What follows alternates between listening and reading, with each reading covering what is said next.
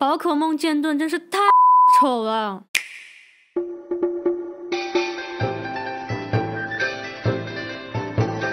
我玩宝可梦是没有什么野心的，我的目标就是全收集，就这么一个小小的愿望。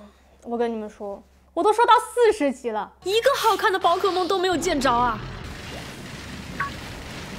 我靠，这是老头吗？我又不是富婆，是要抓老头养啊！有什么招式打吗？对您好，对方使出了让座，这样吗？溜了溜了溜了。哎，哎我去憨，哎走了走了。哎呦我，哎呦我。靠！哎这些鬼东西我抓了一个晚上了，抓得我昏昏欲睡，多年未愈的失眠症差点就痊愈了，直到我的小屁猴进化了。我操！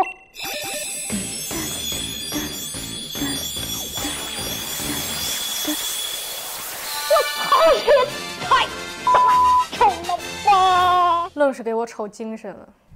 说实话，我觉得剑盾这个游戏还可以。传统的宝可梦玩法依旧很有乐趣，每一代正统宝可梦也都算是踏着小碎步在前进的。这一座相较于上一座日月，明显是进步了的，画面变好了，草丛里的宝可梦分开明雷暗雷，友善多了，还加了一个开放世界，另外还有一个极具化的新玩法。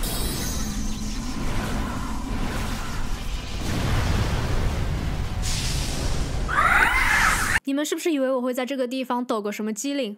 嘿嘿，但就像我只是在这里播个片而已，极具化的玩法基本上也就只是放大罢了。变大之后，血量和攻击都会上去了一些，可是真的没有必要啊，并不帅啊，还是 Mega 进化和 Z 招式比较帅吧。旷野地区是一片自由捕捉宝可梦的游乐场，地带内会变换各种天气。出现不同宝可梦的数量也非常的多，可以想抓多久就抓多久，我还是很喜欢的。但体验下来，经常发生的情况是，碰到的宝可梦要么等级太低，要么等级太高还抓不了，以及像我开头的时候说过的，就算大部分都是鸣雷，也还是免不了一不小心就踩着屎。相较于这两个明显的变化，其实我觉得本作做的最好的是它的音乐，尤其是道馆的战斗音乐，变化多不抢戏，节奏好又耐听，堪称典范。翻开增田顺一的维基百科，人家的 title 是音乐家，得，这不巧了吗？怪不得剑盾的音乐深得我心，可以超越同行宝可梦，可一起吃经验，一举夺得我最喜爱的三大剑盾改动 top one。他最厉害的是音乐一起，僵尸跳二段踢和太空步转体都看起来活灵活现，堪称起死回生，妙手回春。很多人在吐槽的这个二段踢，其实在我玩起来的感受是完全没有影响到我的游戏体验的。事实上，这个动作我还挺喜欢的。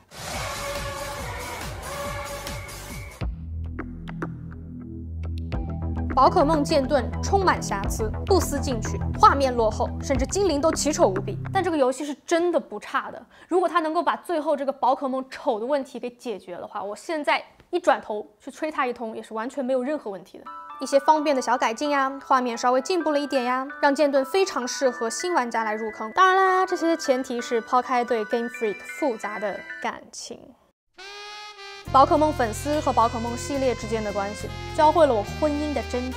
凑合过呗，还能离咋的呢？宝可梦玩家的要求，不是心愿，无非就是好看一点嘛，能力强一点嘛，过分吗？如果连这都做不到，嗯，下次能不能不要再犯了呢？宝可梦粉丝在 Game Freak 面前似乎永远没有办法硬起来。